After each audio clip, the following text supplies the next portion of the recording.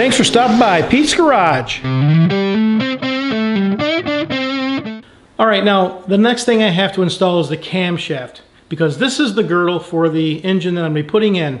This particular girdle sits on the oil pan rail on the bottom of the engine. It ties into the rear main seal cap and the front cover. And since I, had, since I have to have the front cover in place to set up the girdle, I have to have the cam in first. So here's the cam for this engine. And the owner chose a flat tappet cam, not a roller. Went with a flat tappet. And there are some distinct differences you should be aware of when choosing a camshaft. And I know there's millions of articles on it, but here's some of the basics.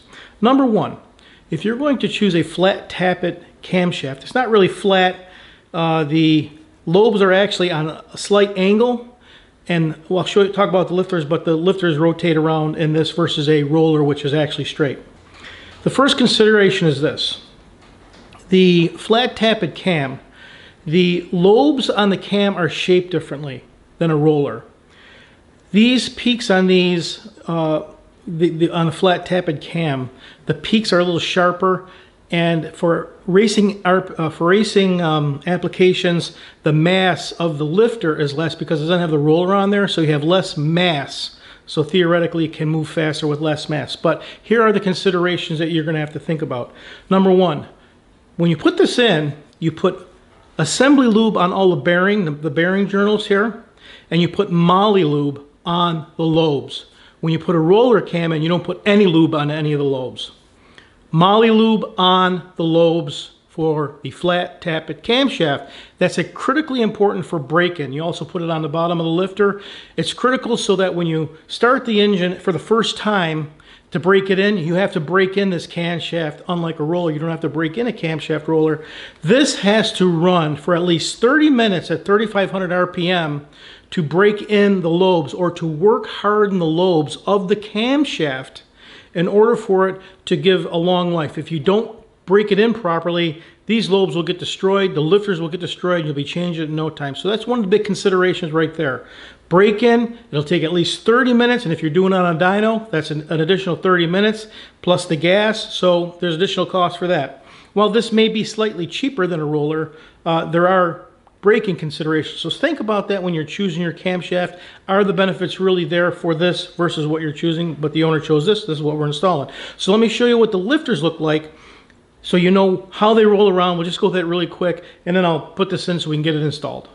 Now here is our flat tappet lifter. You can see the bottom, there's no roller on it. You compare this to a roller, they're very different in length and you don't have the roller.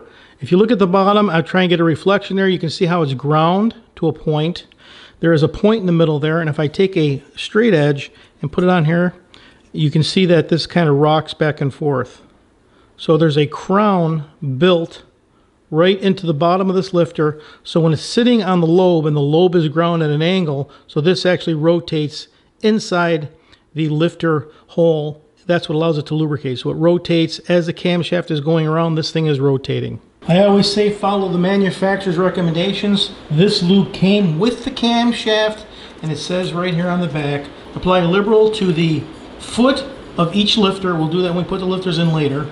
Camshaft lobe and gear, the gear up front where the distributor engages. All right, start by putting a really long bolt on the front of your cam to help guide it in. And remember, assembly lube on the journals, the moly lube or the lube that came with the camshaft on all of the cam lobes. Now you don't want to mix up the two obviously, so I like to work one bearing at a time. I want to put it in, get one bearing set, and gently put it in without trying to hit the lobes on the bearing. Get it to the next bearing and set it there. Now I can work to the next one. Very slowly putting it in.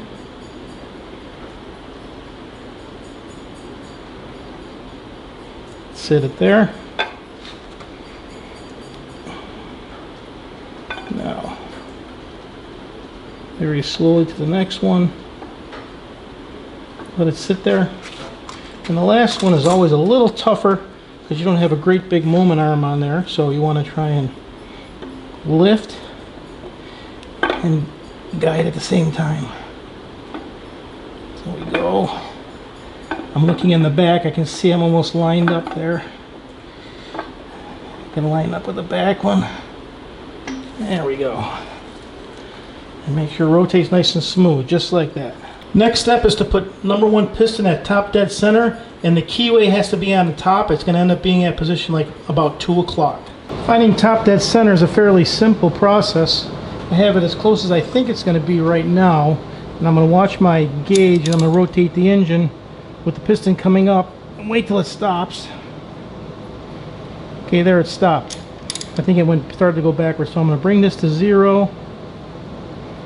Make sure it's on zero. Now I'll rotate it backwards.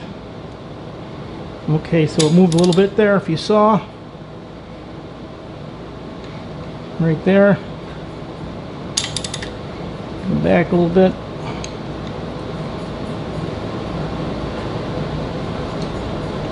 Tap it. See if it starts to drop. When it starts to drop, I can go the other way.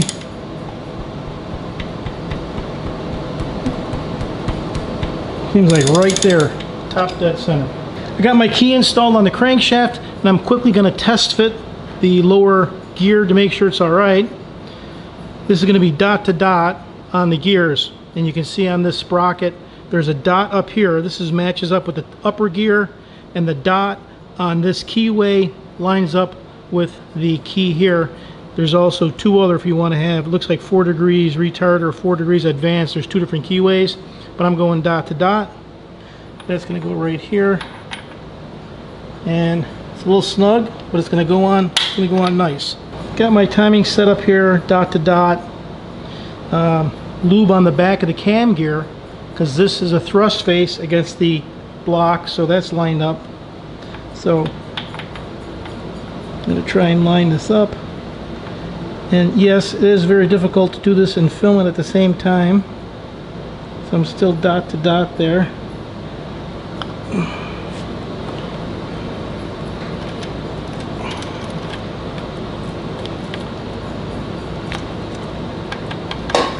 Oops. Wiggle this on. Line up with my cam.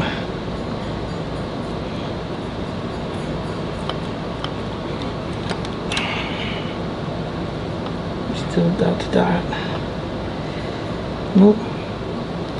One sprocket off. Not dot to dot. I'm off by one. Alright, line up the pin.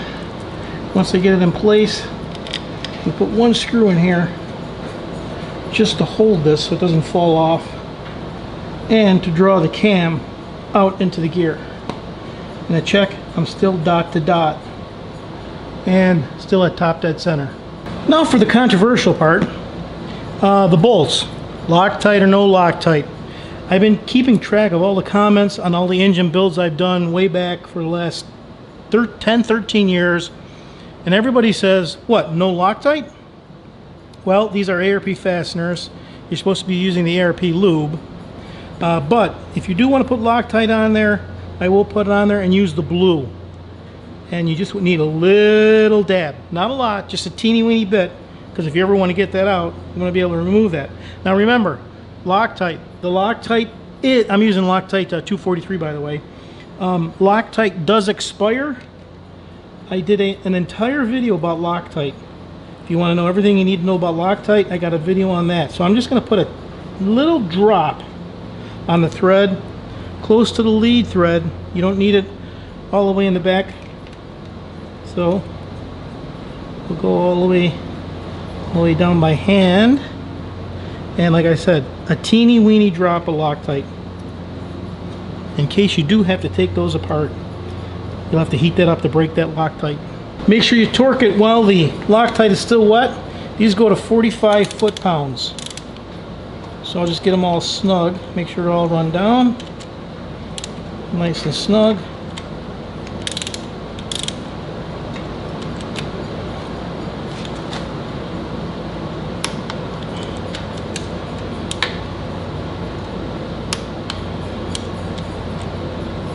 Yes, that is a uh, Incidentally, for anyone asking, wondering, that is the air conditioning running in the background. 86 degrees and brutally humid here in Buffalo, New York. And yes, in Buffalo, 86 degrees and 65% humidity is brutally hot to us. Okay? Check. You only need to click this once.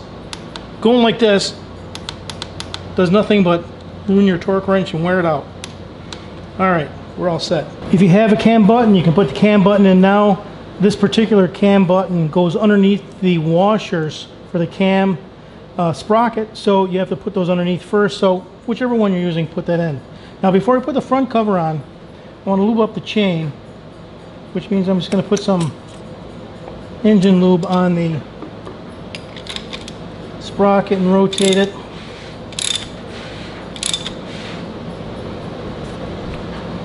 Just want to make sure my, my sprocket is lubricated, the chain is lubricated.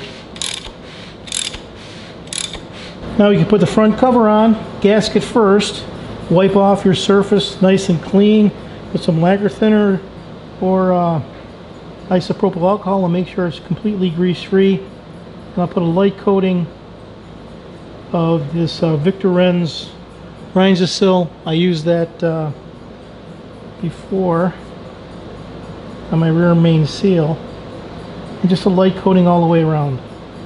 I used to use high tack for this but I find that uh, this material is much easier to brush on. It's not as sticky but uh, it goes on nice with a brush. Sit my gasket in place put it over the dowel pins first makes it easier to set it in place. Rear main seal is pressed into the front cover. That's really not that difficult. And I got a light coating of the Reinzosil on the uh, gasket. Set this on here gently on my pins. Like that. And just put our bolts in.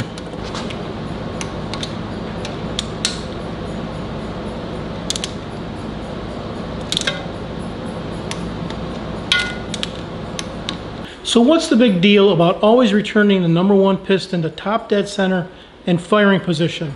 That's because this engine has an intermediate shaft.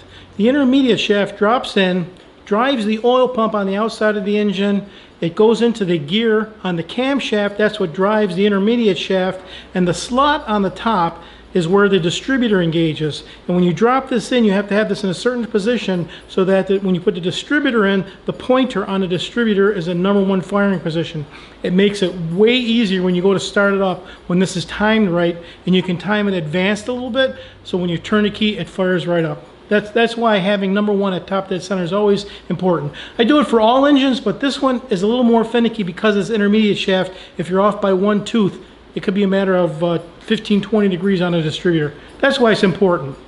We'll continue on with, the, with the girdle on this one next, now that I have the timing cover on. Thanks for stopping by Pete's Garage.